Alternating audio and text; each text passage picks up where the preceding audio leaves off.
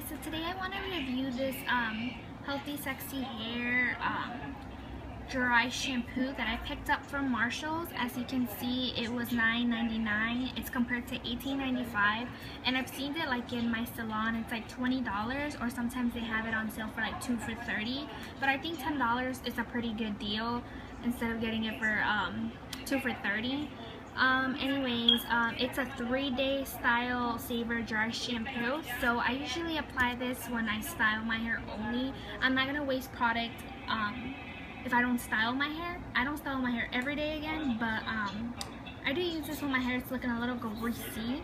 Um, so yeah, it's a really good dry shampoo. It does not leave white like residue in your hair. It doesn't leave white residue at all actually.